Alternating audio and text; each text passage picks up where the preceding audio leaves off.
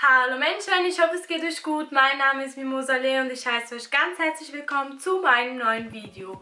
Heute werde ich ein Q&A drehen, weil ich schon lange nicht mehr auf Antworten, äh, auf Antworten, auf Fragen Antworten gegeben habe. Ich habe euch auf Instagram gefragt, ob ihr mir Fragen stellen könnt und das habt ihr fleißig gemacht und ich werde euch jetzt die Fragen vorlesen.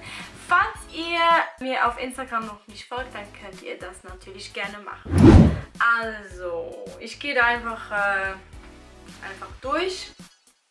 Wird nächstes Jahr Alba Festival genau so wie dieses Jahr oder besser? Das war jetzt wirklich die erste Frage. Ähm, ich denke natürlich, dass Alba Festival das nächste Jahr noch besser wird, weil wir dann aus ein paar Fehlern was lernen konnten und ich denke, dass es immer besser wird, weil man halt Erfahrungen sammelt. Das war unser erstes Festival und natürlich kann man da nur alles verbessern, finde ich. Und ich muss aber dazu sagen, dass es für das, dass es das erste Mal war, haben wir es übertrieben gut gemacht. Also können wir uns auf die Schulter klopfen. Die nächste Frage. Wieso hast du dich entschieden, deine Wimpern-Extensions wegzunehmen? Ähm, ich habe sie weggenommen, weil ich erstens mal ein Shooting haben werde und ich da keine Wimpern haben darf. Und zweitens, weil, ähm, genau, eigentlich eher wegen diesem Grund. Aber mir gefällt es momentan so extrem gut und deshalb habe ich jetzt momentan einfach keine Wimpern. Was machst du, dass deine Haut so strahlt? Also Leute, ihr müsst das immer im Hinterkopf haben, dass halt Instagram einfach eine Scheinwelt ist und man viele Filter benutzen kann. Man kann Facetune benutzen, man hat Snapchat mit eben 1000 Filtern und man sieht dann halt einfach besser aus auf den Bildern und ich muss euch ehrlich sagen, dass meine Haut nicht immer gut ist und äh, eigentlich mehrheitlich gar nicht gut ist und ähm, ja, also meine Haut ist äh, nicht perfekt oder nicht so gut wie auf den Bildern. Deshalb müsst ihr euch nicht dran festhalten, dass ich eine schöne Haut habe, weil das ist nicht so. Sie ist auf jeden Fall besser geworden, vielleicht wegen meiner Ernährung. Ich habe ein bisschen umgestellt. Ich ähm, esse jetzt viel gesünder und ich trinke auch viel, viel mehr Wasser. Vielleicht liegt es an, an diesen Kriterien oder dass ich einfach jetzt endlich mal, keine Ahnung, aus meiner Pubertät draußen bin. Ich meine, ich kann ja nicht immer wie, wie 17 sein. Ich werde bald 24 und ich denke, das hat auch vielleicht mit dem Alter zu tun, dass ich jetzt ein bisschen eine reinere Haut bekommen habe. Diese Frage kam so oft. Wieso zeigst du deinen Freund nicht? Also Leute, es ist ja nicht so, dass wenn ich mit ihm rausgehe und wir in die Stadt gehen oder was einkaufen gehe, dass ich ihm eine Tüte über den Kopf ziehe und ihn nicht zeige. Es geht einfach darum, dass er nicht äh, in die Öffentlichkeit treten möchte. Vielleicht wird sich das irgendwann ändern, aber er möchte es jetzt einfach nicht und das akzeptieren wir natürlich. Und Klar kann ich mal irgendwann mal ein Bild mit ihm posten und so, so ist es ja nicht, aber er möchte jetzt nicht die ganze Zeit in den Vordergrund stehen und die ganze Zeit äh, irgendwie Videos drehen oder am dann, am dann, am dann, am dann Videos drehen. Und ähm, deshalb einfach ganz neutral betrachten, nicht verstecken nicht oder so. Genau, also es sind nicht diese Gründe, ich zeige ihn einfach nicht, weil das ein ein Mensch ist, der nicht im Öffentlichen sein möchte.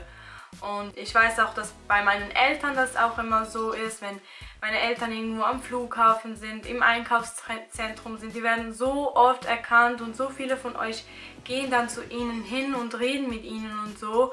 Und meine Eltern können zum Beispiel mit dem umgehen, sie mögen euch auch mega und sie erzählen mir auch jedes Mal, wenn sie euch getroffen haben. Ich finde das so süß, aber mein Freund kann das zum Beispiel nicht. Er kann nicht mit so vielen Menschen umgehen oder er kann das einfach nicht handeln. Ich weiß nicht, ich kann es euch nicht erklären. Er ist einfach ein bisschen schüchtern.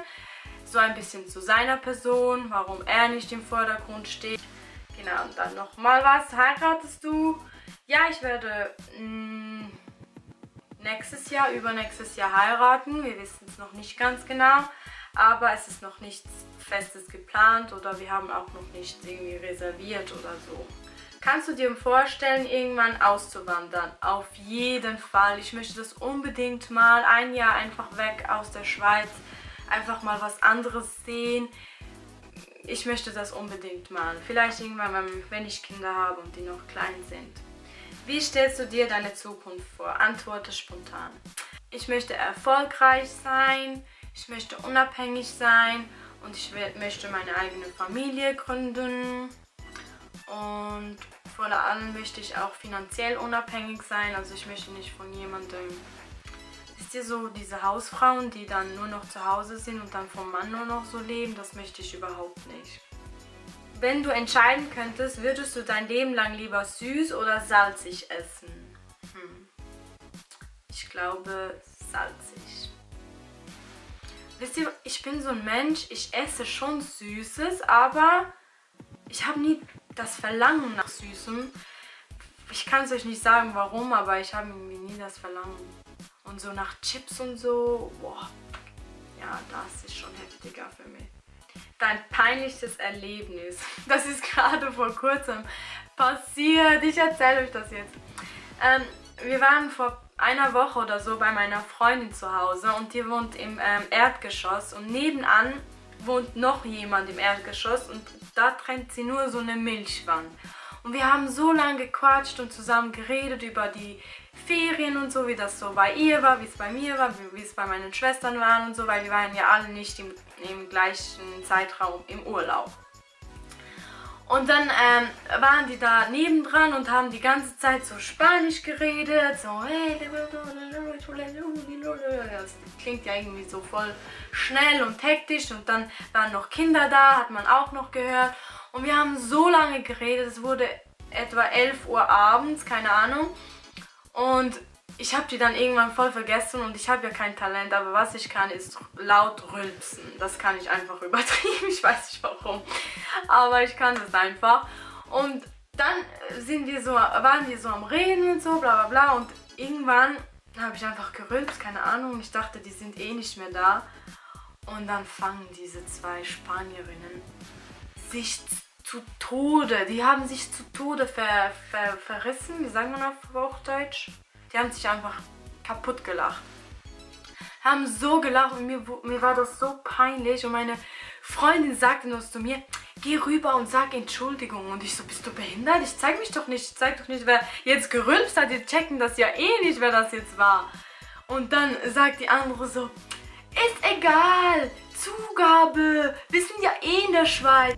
Was hat das mit der Schweiz zu tun, Junge? Jetzt kommt Zugabe, noch einer. Und ich so, oh mein Gott, bitte nicht. Warum? Warum passiert mir sowas? Und ich war die ganze Zeit ruhig und habe normal geredet und dann musste mir genau das mit dem Rülpser passieren. Ich habe mich so geschämt, es war so peinlich. Ja, das war eigentlich das, was gerade vor kurzem passiert ist. Sonst passieren mir ja täglich eigentlich peinliche Sachen. Siehst du dich als traditionelle Nuse? Eigentlich nicht, muss ich ehrlich sagen.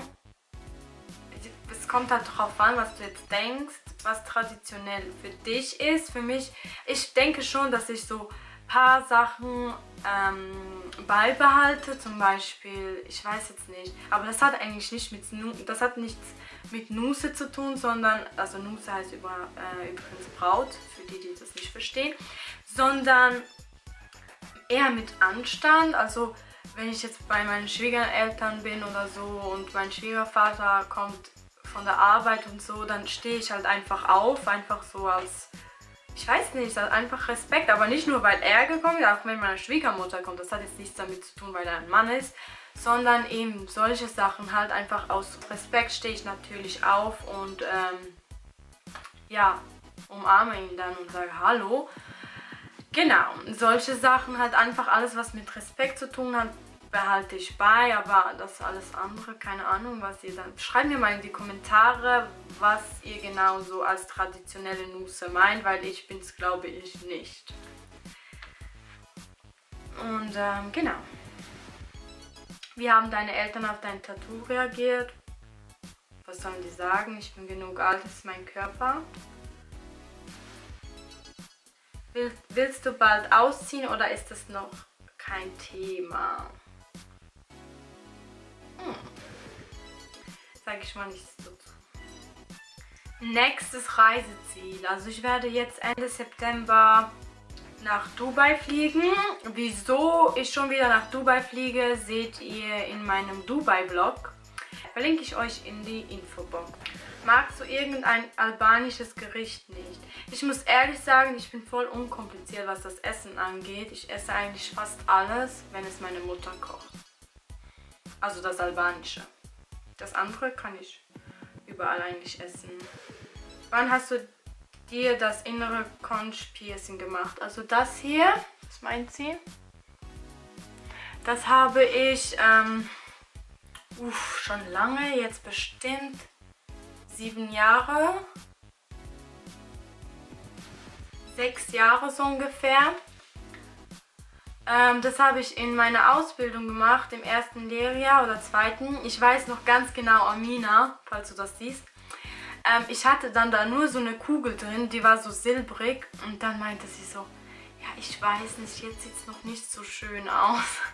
Weil da einfach so eine hässliche silberne Kugel drin war. Aber jetzt habe ich dann so einen Ring reingemacht. Und übrigens, das fragen mich so viele, ob das weh macht. Ja, es macht übertrieben weh. Und zweitens braucht es unheimlich lange, bis das ähm, heilt. Wann wird das Video mit der Bestrafung gedreht? Das Video mit der Bestrafung mit meiner Schwester wird gedreht, sobald wir Zeit haben. Aber ich glaube, sie wird auch mit mir nach Dubai fliegen. Ähm, dann könnten wir das eigentlich drehen. Dann könnten wir auch was Lustiges machen, weil dort kennt uns ja niemand. Ich glaube, das war's erstmal. Ich danke euch vielmals fürs Einschalten, falls du bis jetzt noch drin geblieben bist auf diesem Format. Wow, wie schön ich das jetzt gerade gemacht habe. Dann schreibt in die Kommentare bis jetzt, also Hashtag bis jetzt. Und wenn euch das Video gefallen hat, dann lasst einen Daumen nach oben. Wir sehen uns dann beim nächsten Video. Tschüss!